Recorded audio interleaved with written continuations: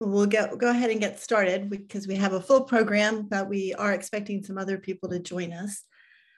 Welcome to the second of our four-part educational series, Virginia Preservation Academy. I'm Elizabeth Kostelny, CEO of Preservation Virginia, and on behalf of our trustees and statewide staff, I thank you for joining to us tonight. I'd also like to thank the Department of Historic Resources for helping to organize and fund this series. We're indebted to our year-round partnership with the department to preserve the Commonwealth's history. Thanks also goes to our panel of experts for what promises to be an educational and engaging program. I especially want to thank Sonia Ingram, Preservation Virginia's Associate Director of Preservation Field Services, for envisioning this series as a way to explore the fundamentals of preservation best practices. The Virginia Preservation Academy features live lectures by preservation professionals with direct interaction between participants and panelists. Recordings of this webinar will serve as the foundation for a library of training videos and available on our website and also the Virginia Department of Historic Resources website at, um, in the coming days. You may also be interested to learn about another tool for Virginia's historic preservation community. The Virginia Historic Preservation Network is a web-based platform for questions and collaborations for sharing information, ideas, and events about history and historic preservation across Virginia. The link to join the Preservation Network will be in the chat. We are grateful to the following sponsors who not only support this program, but also supported our advocacy during the General Assembly session. These sponsors include Rick Barker Properties, Monument Construction, Historic Richmond, Linden Capital, National Trust Insurance Services, Glavian Homes, Piedmont Environmental Council, Hirschler, Commonwealth Preservation Group, and Jenny Keller and Trip Pollard. A few housekeeping um, bits before we begin. You may ask questions at any time um, by typing those questions in the Q&A box at the bottom of the screen. We'll do our best to get to um, as many as possible at the end of the program. For best viewing options, I'd encourage you to go to the upper right corner and select speaker, uh, the speaker option. Um, that, that'll help with uh, eliminating distractions. Preservation Virginia, as a certification maintenance provider by the American Institute of Certified Planners, AICP, um, is offering credits for this program and the next two in the series.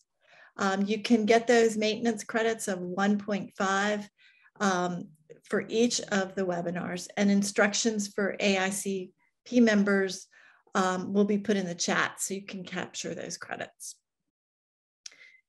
In 2020-21, David Brown, formerly the vice president at the National Trust, facilitated a process with Preservation Virginia's staff and board to revise our strategic plan and vision. With input and dialogue from stakeholders, allies, partners, and activists, we examined how the world was changing and how historic preservation could bring value, economic recovery, and connect communities across the Commonwealth. At the core of that plan are the principles of knowledge and innovation, integrity, inclusion and diversity, and sustainable stewardship all of these to make a difference in Virginia and to get things done. The preservation, the Virginia Preservation Academy is one example of how Preservation Virginia seeks to expand networks and support local capacity building to sustain Virginia's historic places. The series will continue on March 30th with a program that focuses on how to research a historic property and tips for preparing national and state historic register nominations. And on April 6th, we'll have a, session on how to choose a preservation consultant, how to hire them, how to, how to uh, find them. In future years, Webinars will include workshops on rehabilitation, tax, historic tax credits, environmental review, grant writing, historic cemeteries, revolving funds, and a host of other topics. We also plan to have an introductory workshops on historic architecture, archaeology, historic building restoration, and training modules for architectural review board members. However, these programs will only be a success if uh, with your participation and input. So let us know the topics that are important to you. Um, so uh, as we create the new uh, set of series.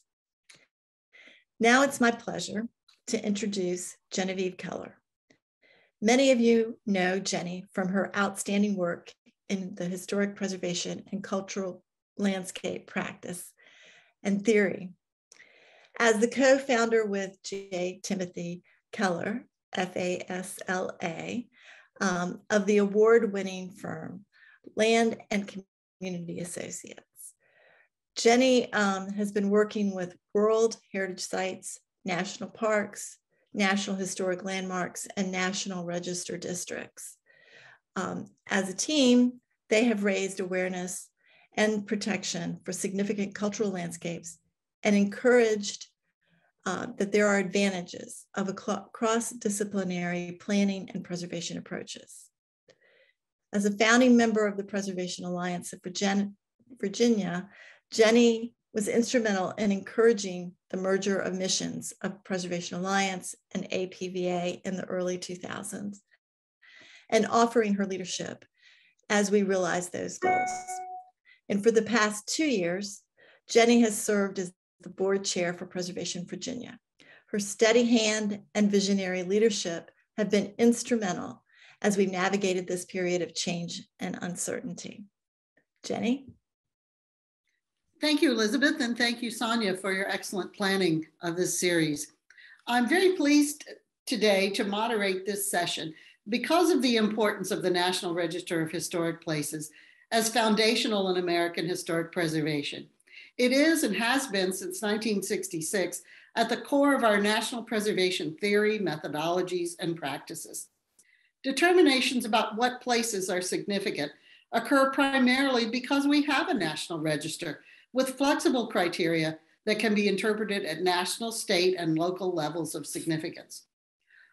All state, tribal, and federal preservation offices use the National Register as the basis for their programs. The very popular Historic Tax Credit Certification Program, for example, that is so well known and widely used throughout the nation and especially in Virginia, relies upon the National Register.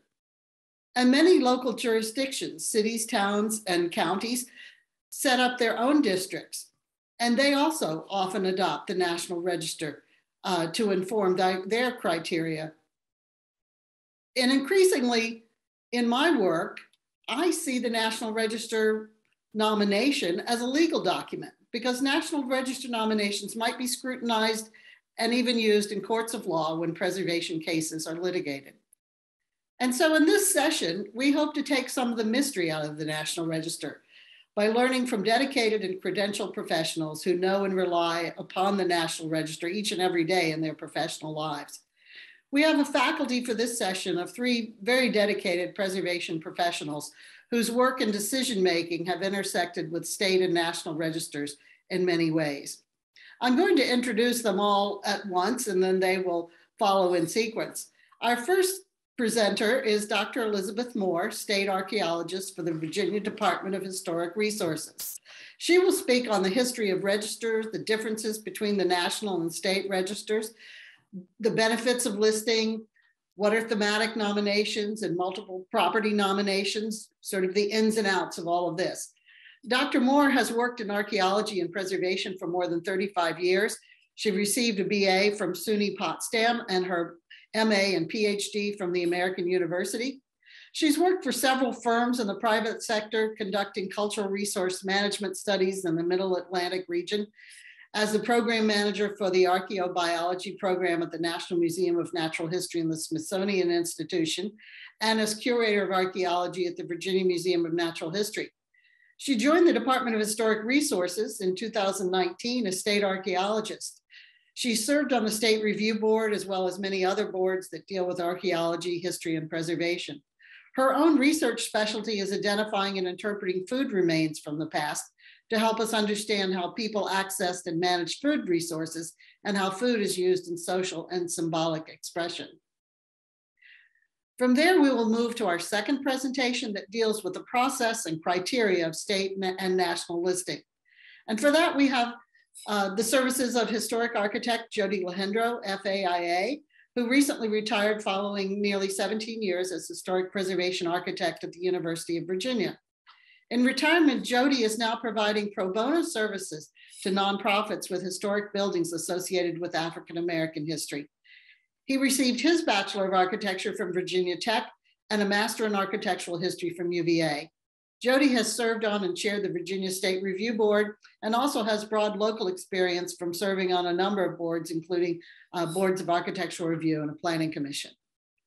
And our third presentation tonight will address a very timely topic of equity and inclusion in state and national register listings. And we're very pleased to have Jeffrey Free Harris, who is a Hampton-based historian and historic preservation consultant who also currently serves on the Virginia Board of Historic Resources and chairs the National Rainbow Heritage Network that advocates for LGBTQ historic places. As the National Trust for Historic Preservation's first director for diversity, Jeffrey worked with preservation organizations and historic sites around the country on issues related to diversity in the preservation movement. And currently, Jeffrey is researching and documenting music related historic sites across the country as a way to engage music lovers in preservation advocacy. At the conclusion of these three presentations, we will have ample time for questions and answers, but now we will turn to our first presenter, Dr. Moore. Thank you very much, Jenny. I'm going to switch now from my video to the presentation.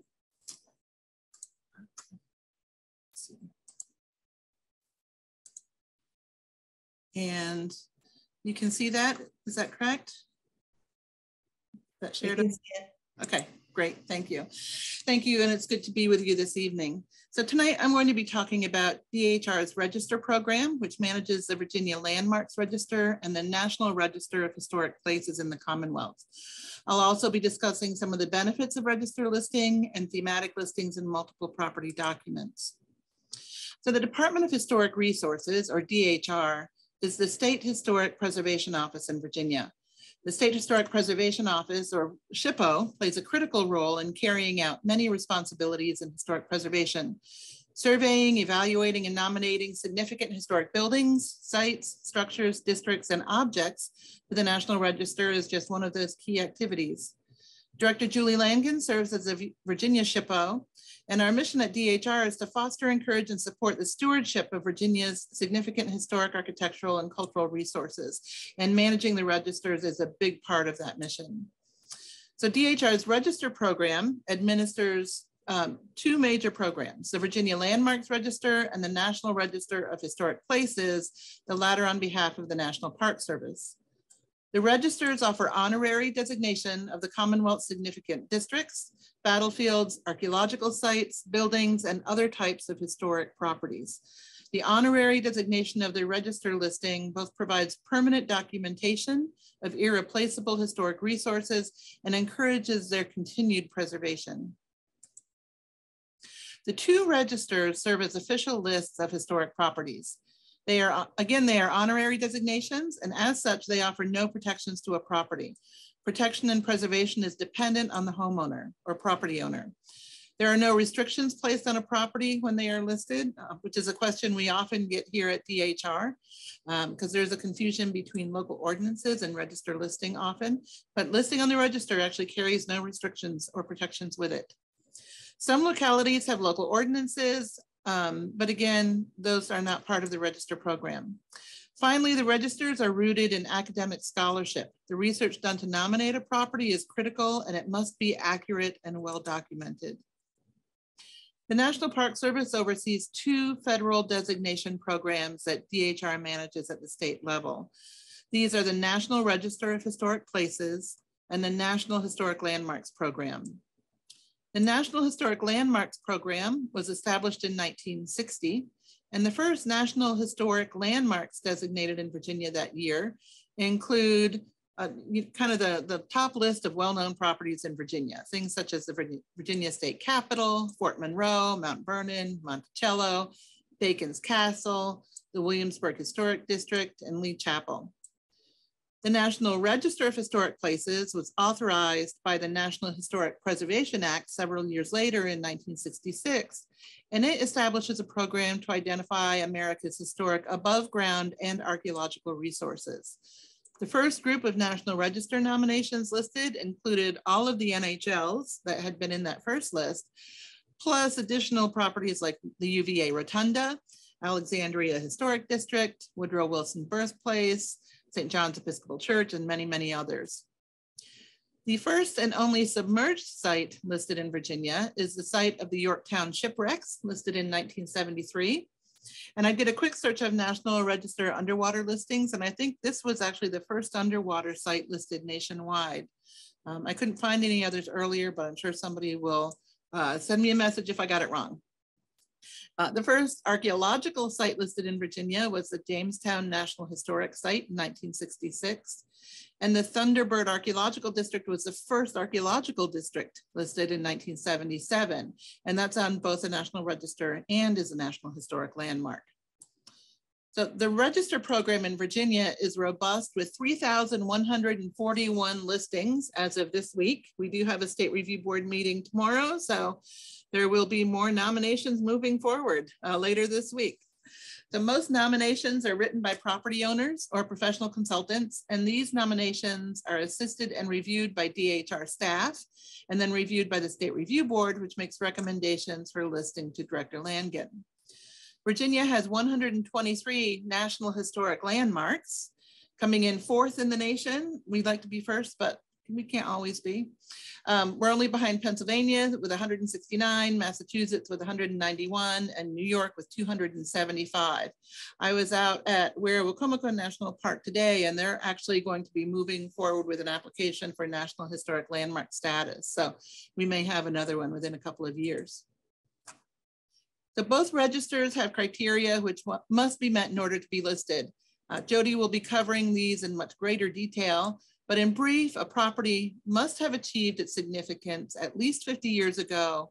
It must be either associated with an important event or, or historic trend, be associated with an historic person, represent an important architectural or engineering design, or for archeological sites, it must maintain research potential in the ground. Finally, the property must retain physical integrity in the form of intact historic materials, appearance, design, et cetera. And there's a lot more uh, factors which play into that that Jody will probably uh, talk about in just a moment. So there are some potential economic benefits of listing a property on either the state or national registers. Property owners may be able to donate an easement to the state. This donation may lower your tax burden, it can lessen inheritance taxes, and it preserves property in perpetuity. There may be state and federal tax credits available to property owners. And if you're interested in these, I recommend you contact one of our staff in the Preservation Incentives Division for more information um, and, and more on the process. And I recommend that you start that process early because there are things that you can do that um, can make the property difficult if you don't start out with uh, being fully informed ahead of time. There are also many community benefits to register listing, especially when a community has historic districts. These districts and the economic benefits that they provide can lead to community revitalization, economic development, and particularly significant in Virginia, heritage tourism. Communities have a great deal of local pride in their historic properties and often incorporate them into local festivals, events, and educational programs. When a property is placed on either register, you can be recognized for that designation. You are entitled to place a plaque on your property. Um, owners are proud of these plaques. They are a public statement that this property holds a significant place in American history and that their owners are committed to the preservation and stewardship of those properties. Being listed means that this property is permanently documented and that research is available for future generations. And finally, this information on these properties is shared through DHR's educational efforts, whether in print or online. So there are two types of theme studies that can be used to assist with National Register or National Historic Landmark nominations. The first of these is called a multiple, multiple property document or an MPD. An MPD is not a nomination. It does not result in any property being listed on the National Register. Instead, an MPD provides the framework, the historic context, and the supporting research to establish a theme that ties together properties that have some aspect of history in common. States identify topics and develop multiple property documents. While some of these may have relevance in many states, many MPDs pertain to historic themes or patterns only within a state or even a locality. There are 48 multiple property documents in Virginia that include such varied topics as African American heritage resources of Alexandria, Rosenwald schools, slave trade as commercial enterprise in Richmond, streamlined modern houses in Arlington County, and Virginia Beach oceanfront resort and motels and hotels. Um, so you can see some of these are very local, but some of them are statewide. Um, and it, again, if you have a property that falls under one of these themes, it makes it much easier to write your nomination um, and prepare all of the documentation you need to be placed on the National Register because a lot, of, a lot of that background research has been done for you already. One multiple property document currently in development is the African American Waterman Project. DHR is partnering with the National Trust for Historic Preservation, the National Park Service, and the Chesapeake Conservation Partnership to document African American waterman culture in Virginia's coastal communities. Again, MPDs do not nominate any of these properties, but they will make it easier um, to fit your property into one of these topics, depending on, on the type of property that you own. The National Historic Landmark Program does not have MPDs. Instead, the National Park Service develops what they call theme studies. They function in a similar fashion in that they identify a specific topic of American history that can be used to identify properties around that topic or theme, but they are relevant at a national level, not at a state or local level. Some recent theme studies for NHLs include LGBTQ America, American Latino heritage, the era of Reconstruction, and Asian American Pacific Islanders. The most recently published NHL theme study is Civil Rights in America, Racial Discrimination in Housing, published in 2021. In 1999, the US Congress directed the National Park Service to conduct a multi-state study of civil rights sites to determine their national significance. As a result of that work, a framework was developed that recommended that a theme study be prepared to identify sites related to desegregation of schools, public accommodations, voting rights, housing, and equal employment. This most recent theme is the fourth part of the Civil Rights series to be released, and there are more to come. There are several ways of being listed on the two registers. You may have a single property of historic significance. You may have a contributing property in a historic district where together the properties tell a broader story than can be done by just one resource. You may have an archeological site that has stories yet to be discovered. All of these represent a commitment to preservation and stewardship, and we appreciate all of the property owners who participate in these programs. And if you have any questions, um, I'll be happy to take those. I don't know if we're doing those one at a time or all at the end. I suspect probably all at the end. Um, but I'm now going to pass the presenter torch onto Jody Lahendro, who will be discussing nominations to the registers in a great deal of detail, I'm sure. Thank you. Jody? Thank you, Elizabeth. Let me pull up my screen. And go back to the beginning. Um, thank you, Elizabeth. I'm going to do be discussing the process for listing uh, on the National Register and the Virginia Landmarks uh, Register. And first off, Ah, here it is. Uh, why do it? Um, and actually, I don't see any reason to go through this because Elizabeth just uh, wonderfully covered this. Um, so I will leave it. Uh, uh I, I, will just say, though, because it's so uh, important to me, first and foremost, by adding a property on the National Register, we are participating in the documentation of our national history. Um, buildings, the built environment are artifacts that open doors to understanding the many facets of our national history and culture. So it's it's really important uh, to to put these resources uh, on, on the National Register to document them and have them available for the future. Uh, the basics, um, the application process for both the register and the uh, National Register are the same. Um, and they use the same nomination form uh, for both of these listings. There is DHR staff will be there every step of the way to assist with both listings, and they do this without any uh, charge. And you must remember that DHR is your friend through this process because believe me, you're going to need uh, friends.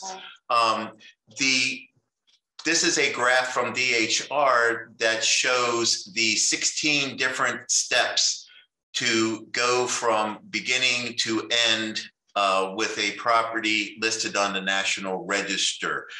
Um, this is intimidating enough uh, on its own, uh, these 16 different tasks, difficult tasks. But when one realizes that uh, the process depends on the reviews and approvals of state and federal bureaucrats, um, you sometimes wonder if it's going to be worth it.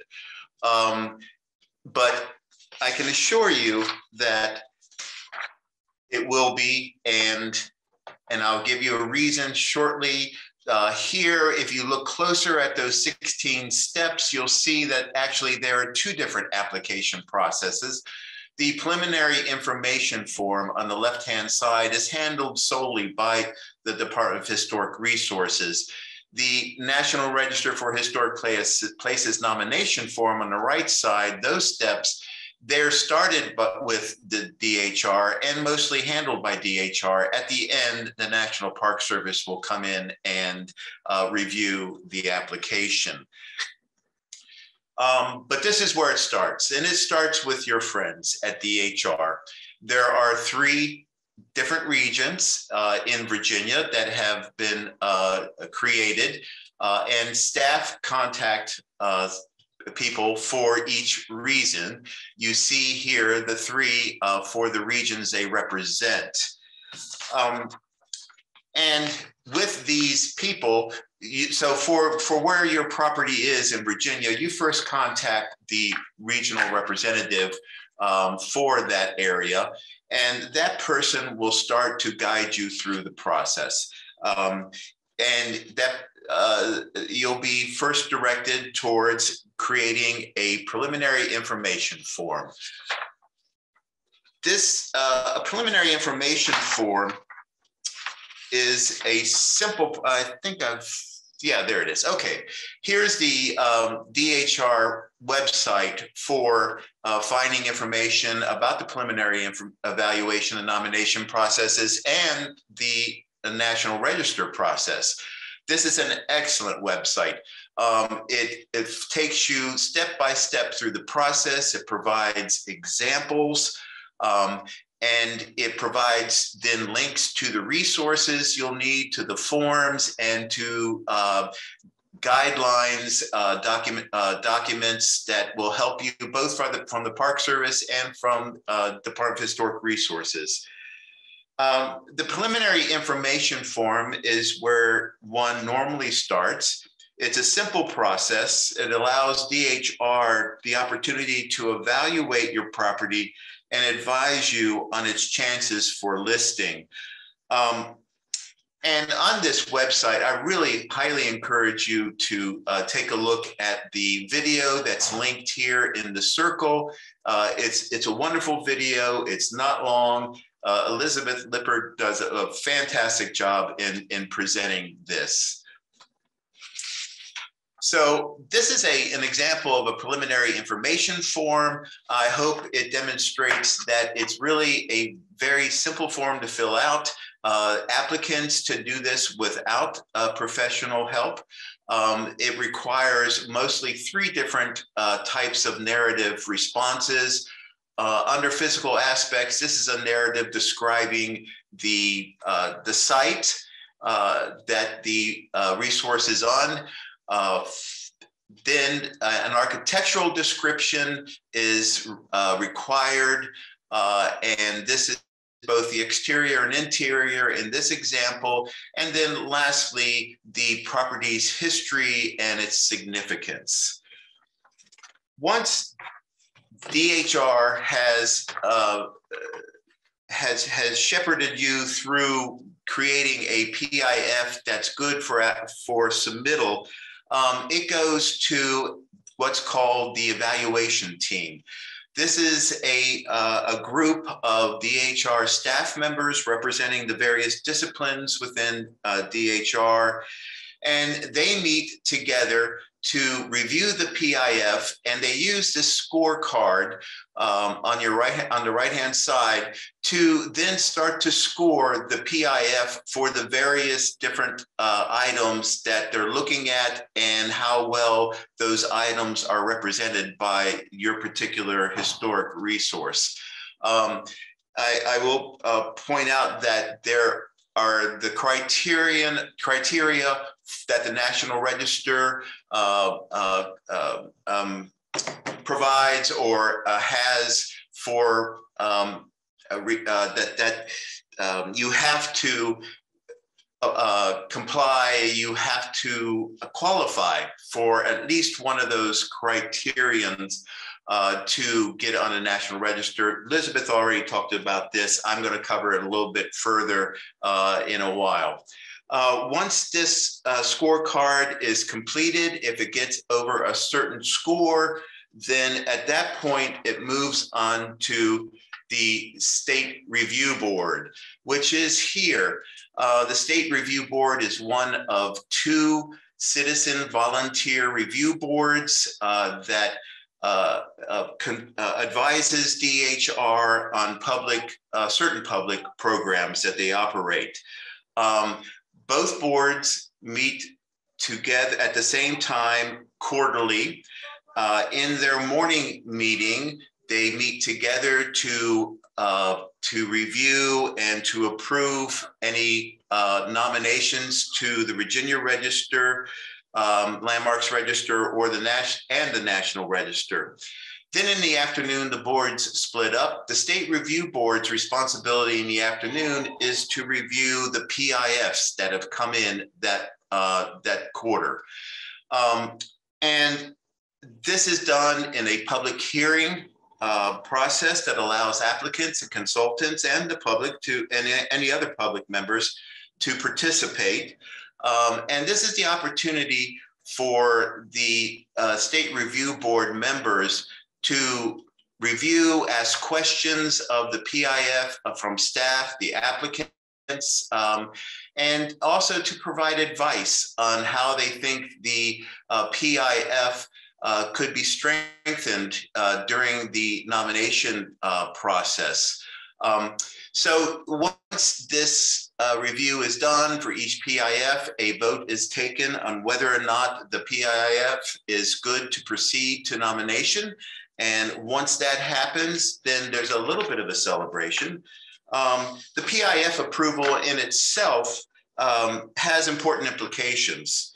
It, uh, it means that the property is eligible for the National Register, and that's sufficient for rehabilitation investment tax credits um, and participating in that program.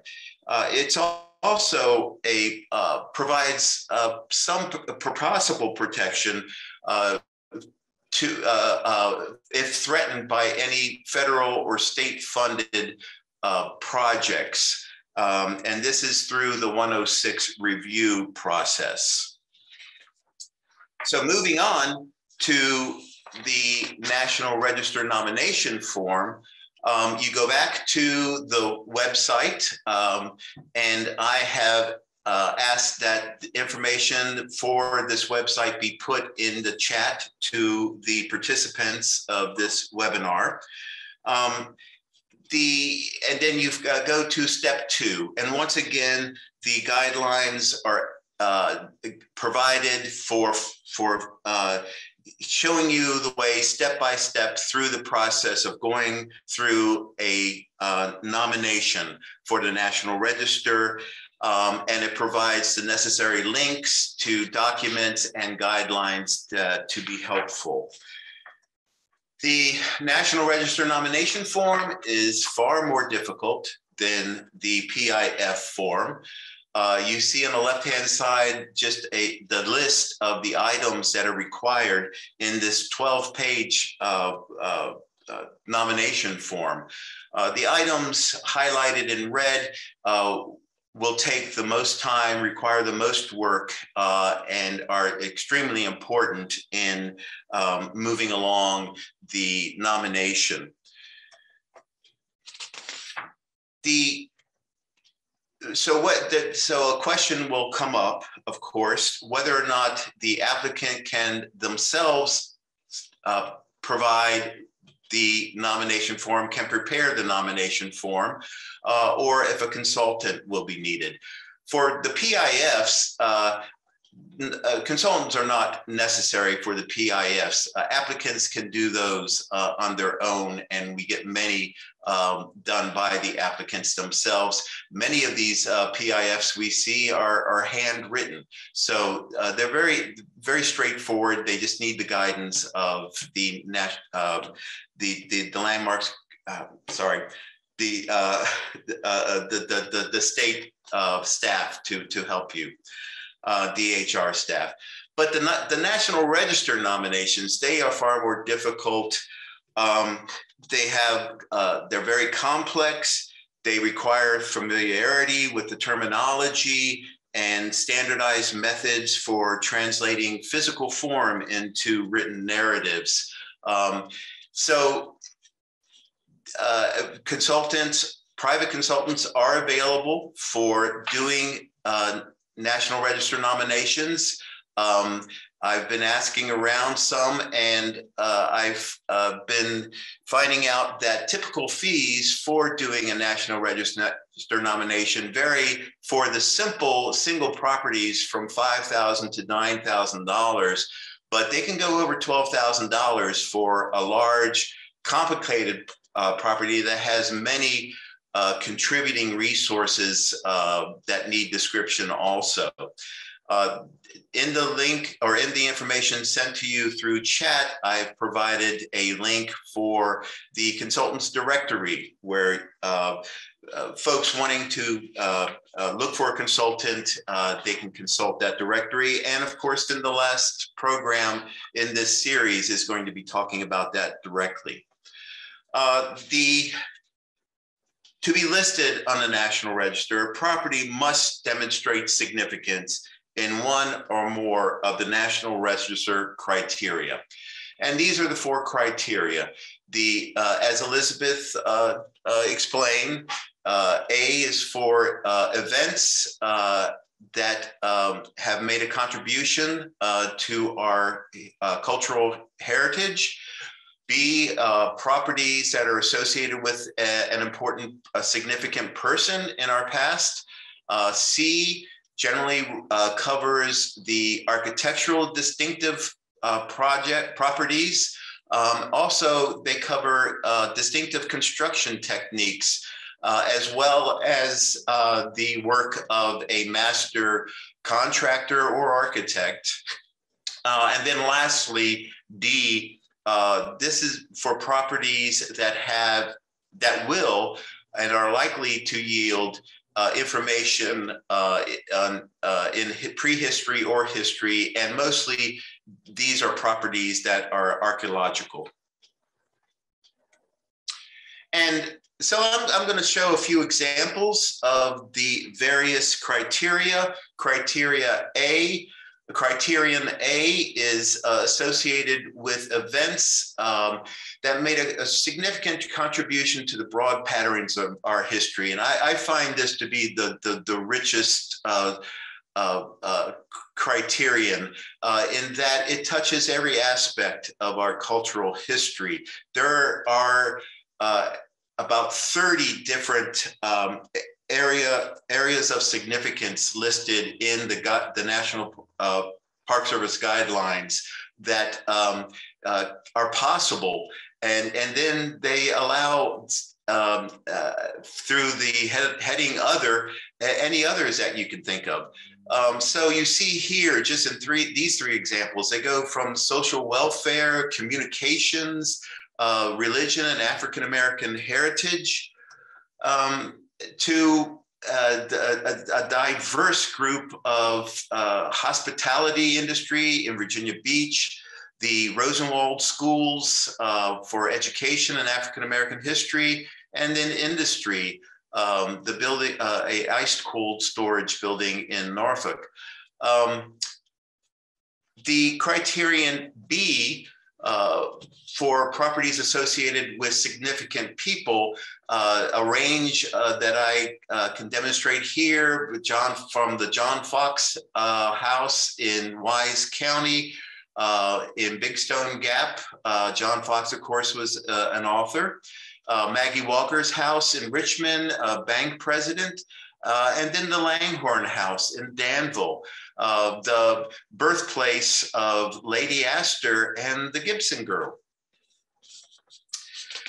Uh, under criterion C, uh, for distinctive architecture, construction techniques, or the work of a master, um, these are three examples that show the range that uh, is covered uh, from the mountain home in Warren County, which is an, a, a, wonderful example of the Greek revival style of architecture.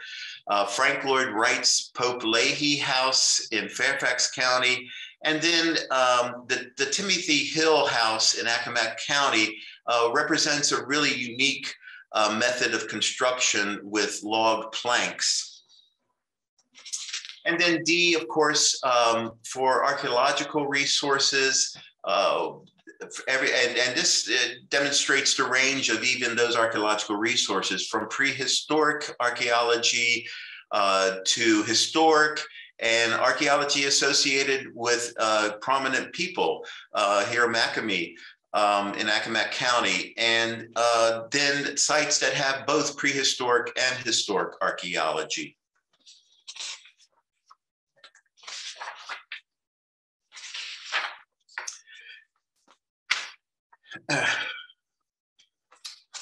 here's what I wanted. So the National Register form, of course, has many other items that are required. I've just touched on uh, uh, the, the, some major ones, um, but determinations need to be made whether the resource is local, statewide, or of national significance. Uh, the number of resources uh, are important to document and whether or not they're contributing uh, to the historic character and significance of the site uh, or not. Um, an integrity analysis needs to be done, uh, needs to be provided uh, that shows how the site and buildings still retain uh, significant integrity of, of the period of significance for them. Um, criteria considerations, these are normally uh, items that would disqualify a, a, property from being on the register or being listed. Um, but there actually are uh, exceptions allowed. And uh, the, this is further explained, of course, in the guidelines and the information provided by the National Park Service. Um, but for all of these uh, criteria considerations, exceptions can be made uh, for those properties that qualify for the uh, uh, for having those exceptions allowed. And then lastly, the period of significance is extremely important to, to identify.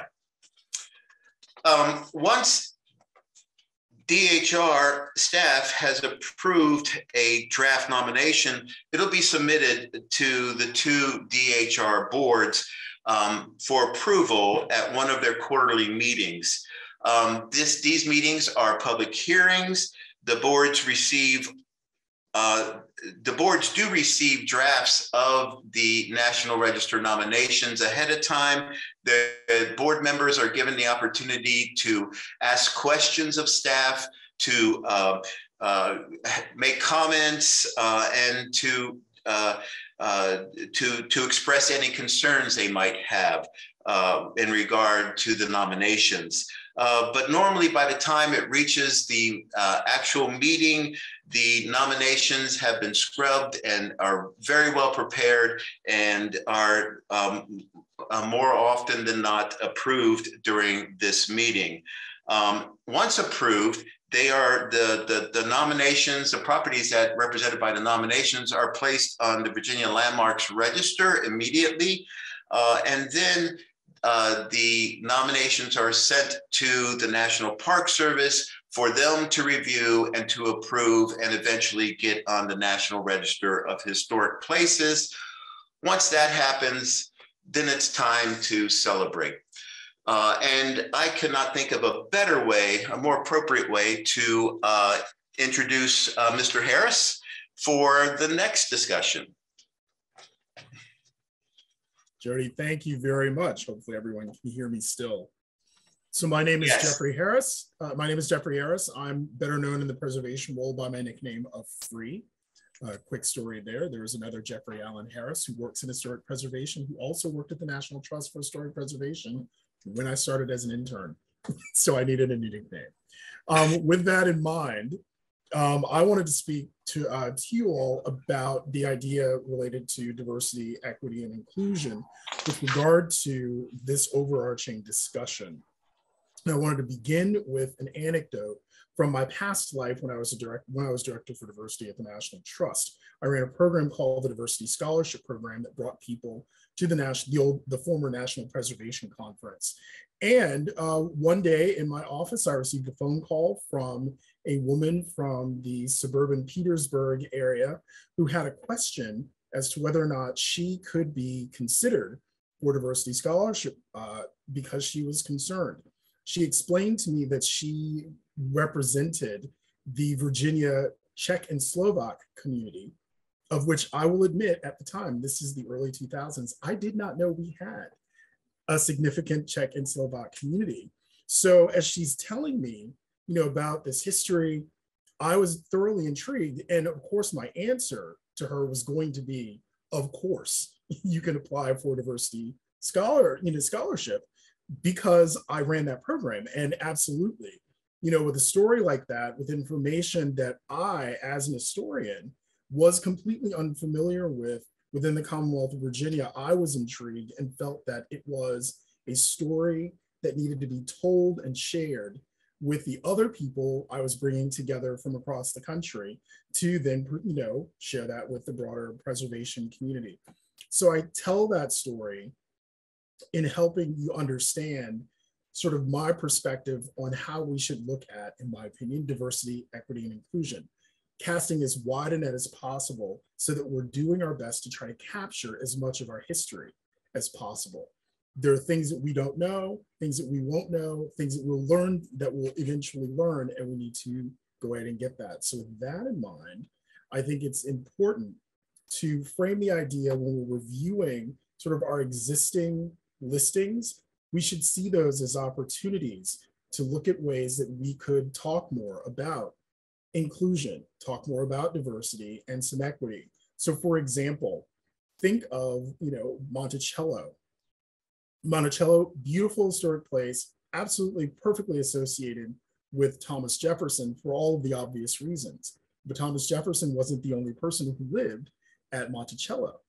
There are other people who lived there. There are other people who there are people who worked that land. There are people who built those structures. We need, in that instance, to talk more, as the site thankfully has done, about those other people. What were their contributions to this historic place? and what role can we play as professionals within the preservation movement to making sure that those stories move, you know, at least not move to the forefront, but at least get told. So in thinking about that, I think that we have great opportunities in terms of looking at ways to expand our conversation about what we know in terms of our history and where we can find you know good opportunities to really um, improve on the existing listings on the Virginia Landmarks Register and the National Register of Historic Places.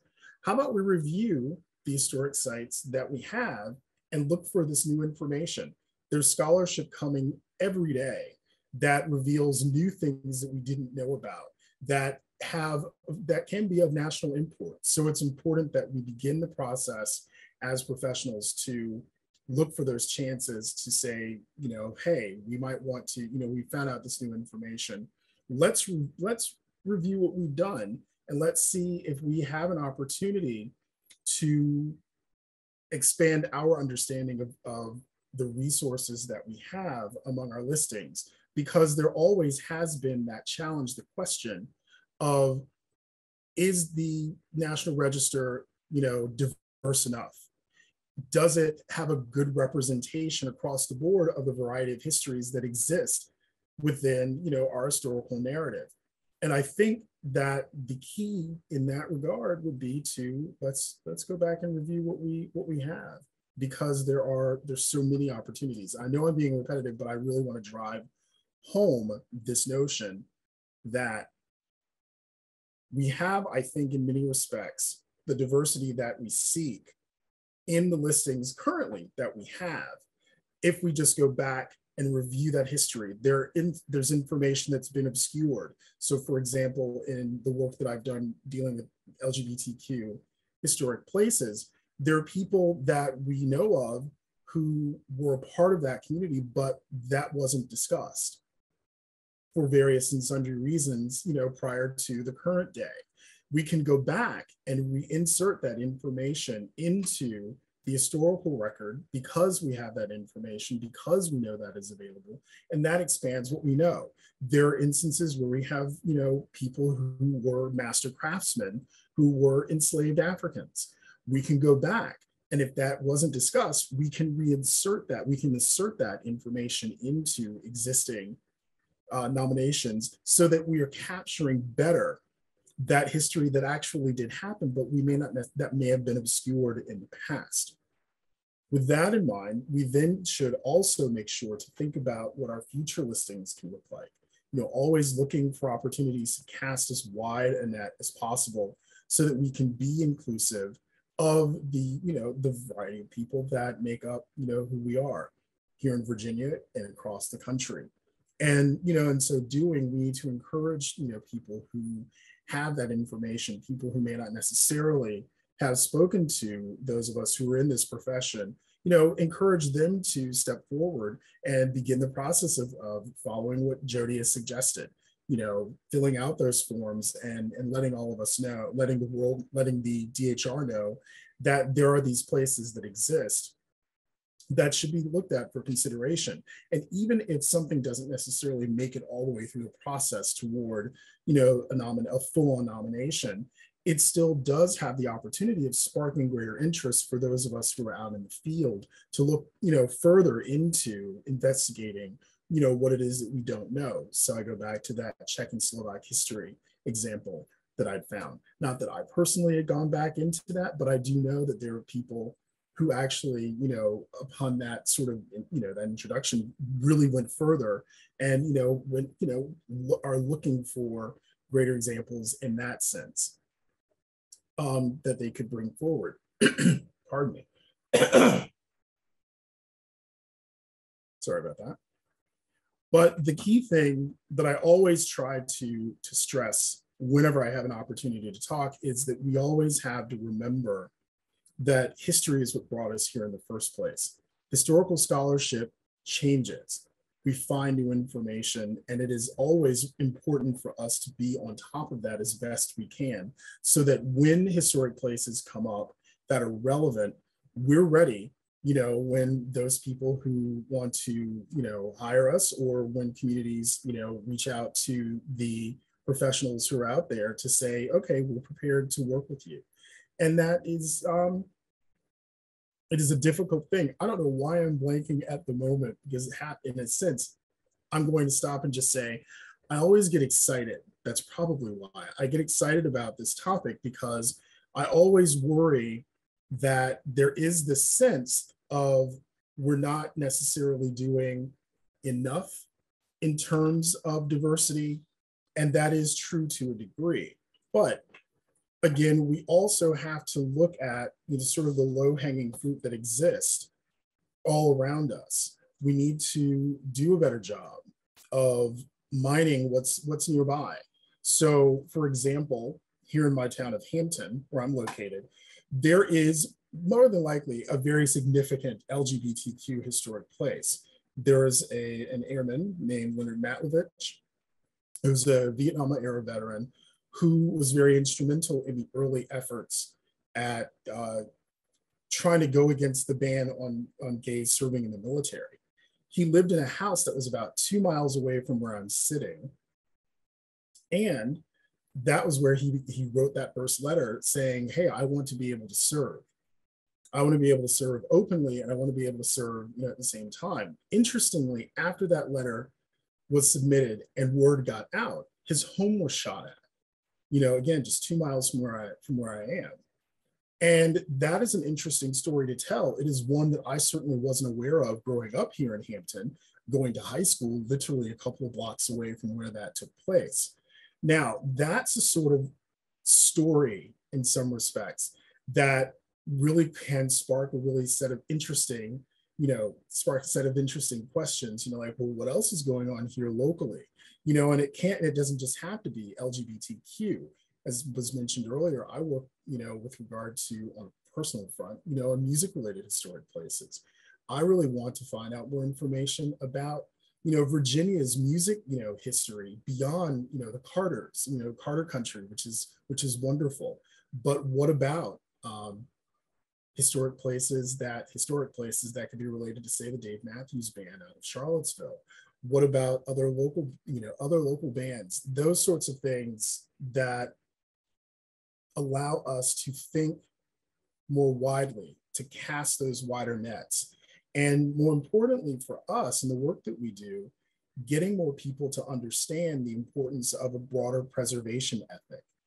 And by having that, we end up getting more people who support the work that we do and who get to see the benefits of the work that we do, how it impacts communities, and all of the things that, you know, that you'll be learning through this academy. You know, those are the sorts of things that will help. And by having as many people, and as many different people who feel as though they are a part of this broader discussion, who feel as though their history is represented in some way, shape, or form, whose history is recognized and honored. That is what helps to make sure that we can continue doing what we're doing going forward. So with all of that in mind, I hope that's somewhat helpful. It's fairly brief, but I want us to get to the Q&A. And with that in mind, thank you for giving me a few minutes of your time, and I want to send it back to Ms. Keller.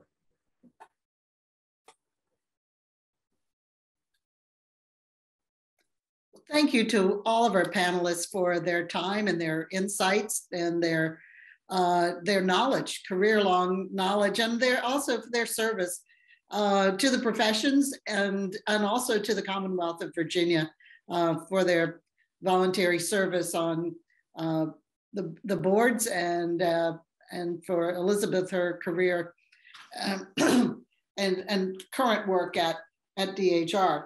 Uh, we have uh, a number of questions and some of these have been answered in the chat, but I'm sure other people have been trying to take notes and and and get their planning credits and concentrating on the speakers as they should. So I think I think we should give these at least a brief consideration uh, verbally so that uh, everybody can benefit from them.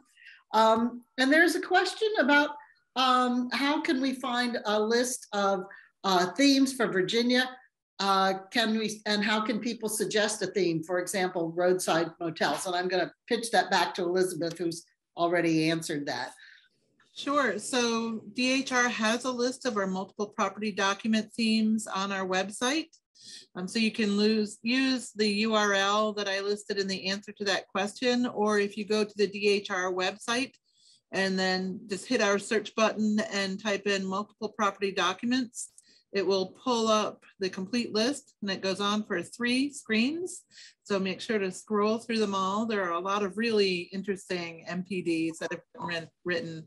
And I, I MPDs are one of my favorite National Register documents because they're so interesting and you know, they provide such a service for property owners because they allow property owners to you know write such shorter nominations and and have to do you know just so much less work than they would if they had to do all of that background research themselves. So they really make it a lot easier for property owners to get to you know to fill out that nomination form and make it a little more quickly through the process.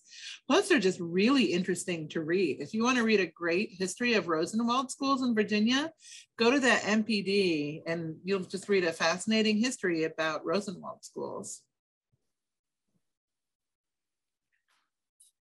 Thanks, thanks, Elizabeth. Uh, we also have a question about local registers. We've talked about state and national ones. Um, and I, am going to pitch this first to, to Jody and then ask uh, Elizabeth to do wrap up. Uh, Jody had some ideas on Albemarle County's local register. This, this came from a, a question about Loudoun County, which of course has a number of listings uh, state and nationally, but not a, not a local uh, register, and that's something that they're that they're interested in. So, Jody, do you, do you want to? Sure. Al Albemarle County uh, has such a program. Um, I know that um, for that consultation needs to occur between the county and uh, D DHR um, because there is a requirement that any local plaques uh, need to be visually different from the state uh, highway markers.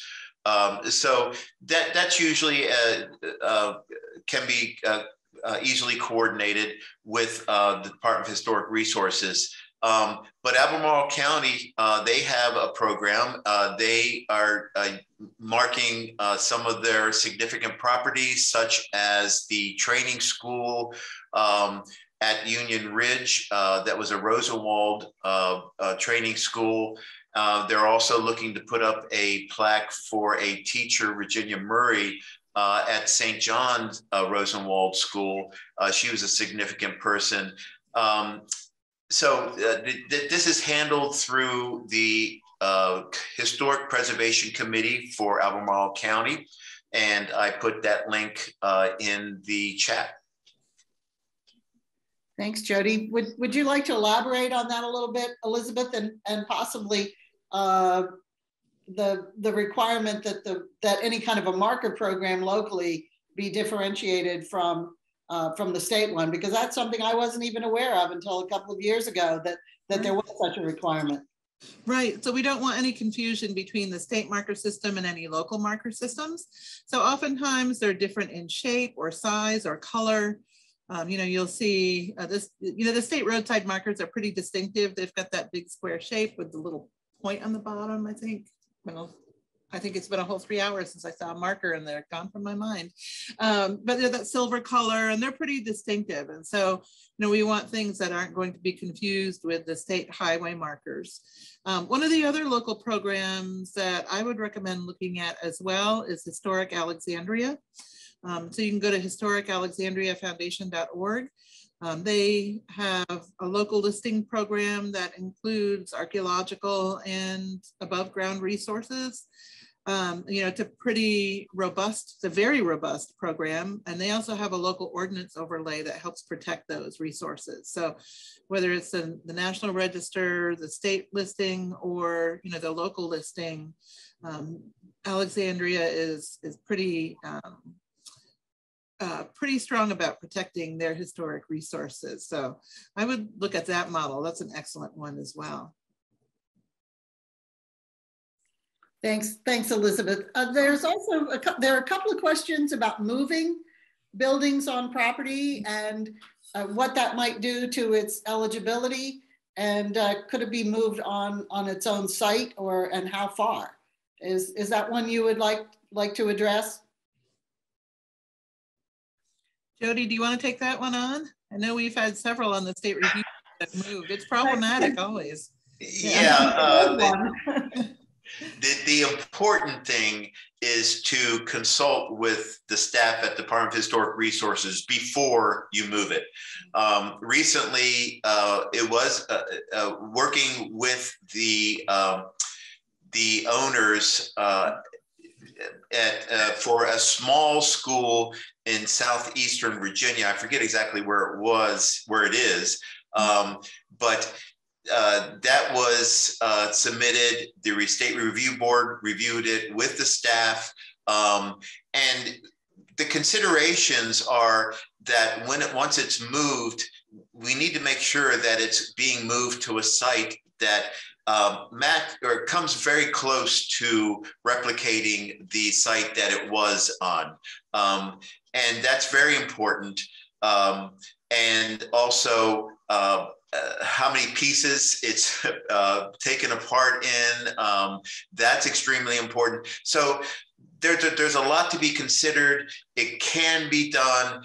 It's um, it's unusual, but it can be done, and it requires the consultation and approval of the Department of Historic Resources before it's done, um, so that they can approve the process and approve its eventual relocation. Um, and, and, and just that, and then they'll, they'll uh, you know, I, uh, uh, assure the owners that it will remain listed as a result after being moved. Thanks, Jody. Um, there's also some a question about the distinction between a National Register listing and a National Historic Landmark listing. And I wonder if you could go into a little more detail about that and uh, the steps that, that would be required to uh, become an NHL and what the advantages or benefits might be to doing that. I can I can talk a little bit about that, but I don't normally work with NHLs, um, except the discussion I had today earlier about Werowocomoco.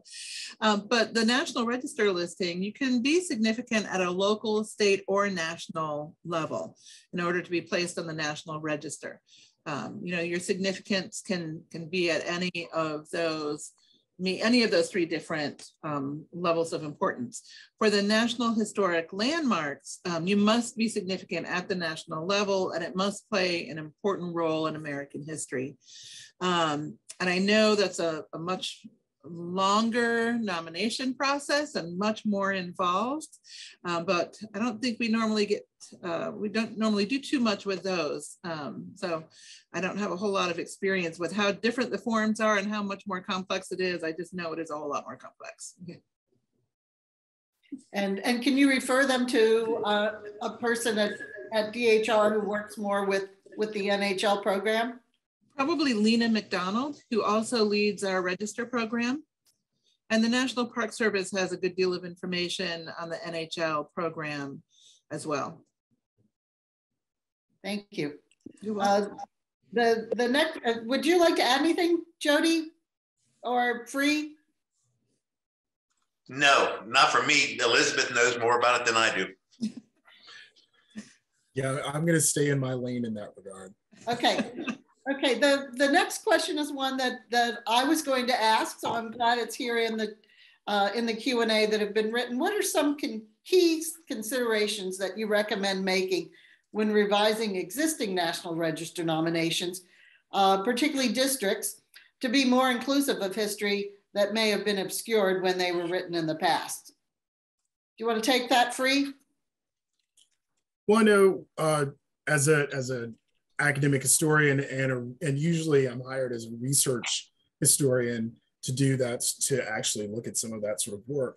Um, it usually, you know, for me, it's gone. It's going back into the scholarship, making sure that you know, if anything has been um, found in terms of primary source material, so meaning sort of first person, uh, you know, accounts or contemporary of the period accounts, if that information that had, say, been obscured, say, um, something that had been written in a diary, or say, in the case of a plantation, some plantation paper information, you know, that to bring that sort of information into the fore and then look at revising the historic statement, you know, within the nomination so that, you know, then resubmitting that so that you then can, you know, begin the process of looking at what are some other areas, what's some other criteria that you can look at possibly to add to that particular listing that may have been missing before.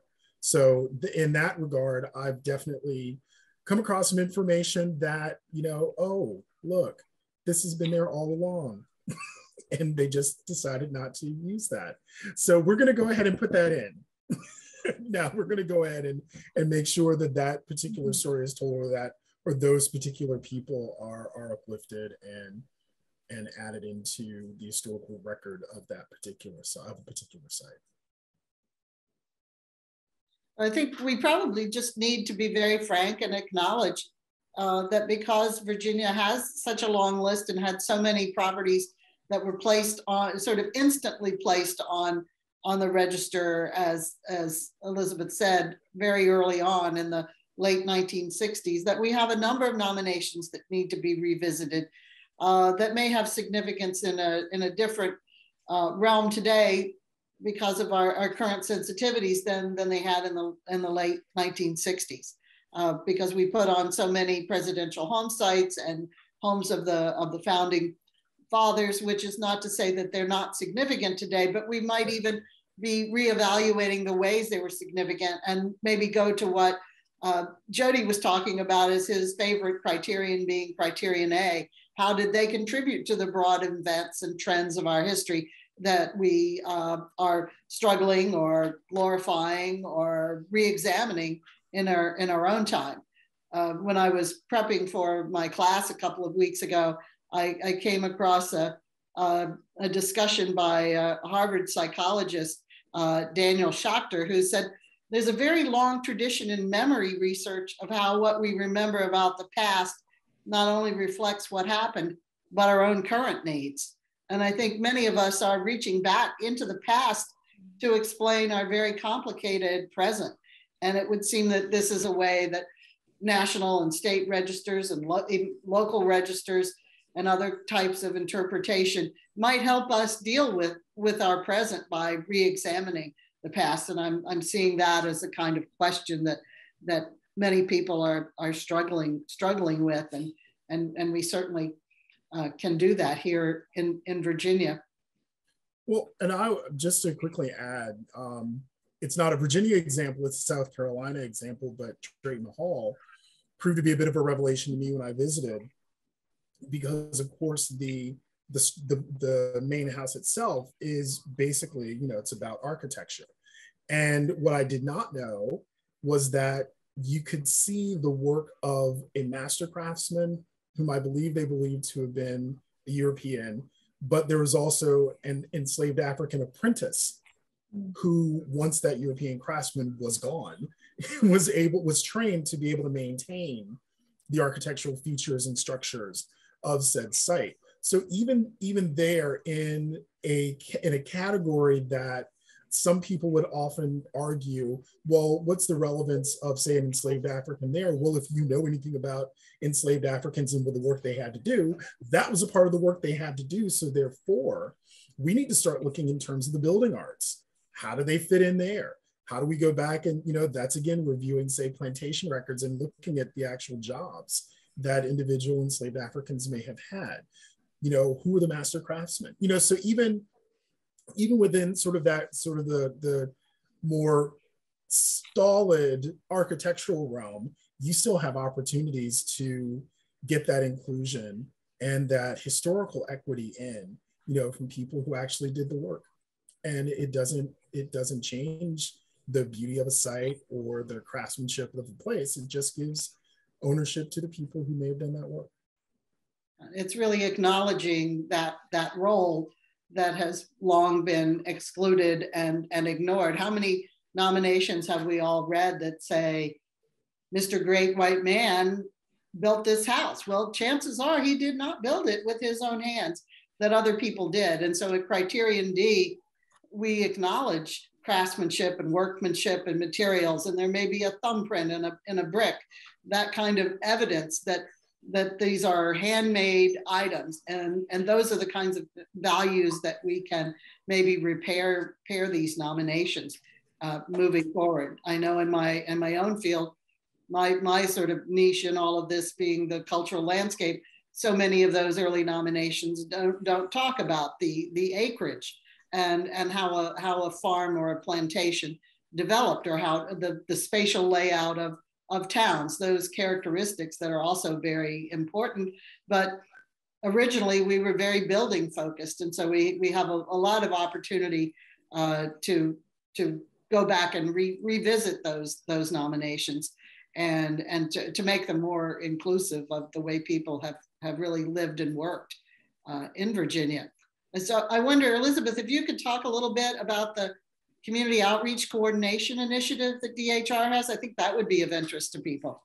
Sure. So we have uh, a staff person, Tim Roberts, who is actually here tonight with us as uh, in, the, in, the, attendees, um, who is um, our outreach coordinator, and he works to um, expand the representation of African Americans and Virginia Indians in all of our programs. And so he works with those communities um, with community engagement and representation uh, to make sure that our work uh, has more more voices that are represented in those histories and in those resources than have been in the past. Um, so if you would like to talk to Tim and, and um, get in touch with him, his email and his phone number are in both the chat and in the question and answers. Um, so you can reach him um, through there.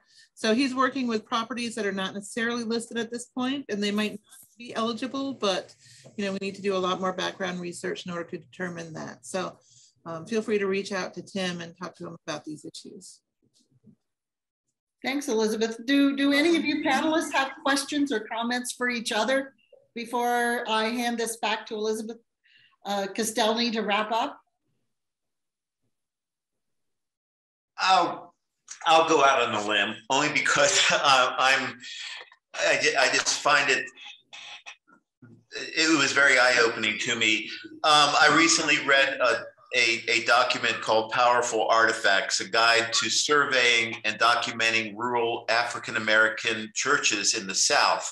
And it was put out by the Middle Tennessee State University. And it really, it, it taught me a different way of looking at uh, rural African American churches and understanding their history and how their history is so wrapped up with their their their challenges from the the, the white supremacists um, that surrounded them, um, and and that when they were able to to work on their churches and have money to to uh, to put into their churches. Um, it was it was when the, you know they were gaining civil rights um, or after emancipation, um, and it's it, so it just caused me to to uh, realize that there's a whole different way of looking at certain resources depending upon um, uh, their history and and uh, their their well just that. Um, and I and obviously that's that sounds rather naive but um, you know, it's it's not the way that I have normally uh, reviewed and looked at uh, the history of church building in the United States. Um, it, it's a very different way of seeing it, and and starting to appreciate the kind of difficulties that were experienced in um, creating their churches, African Americans.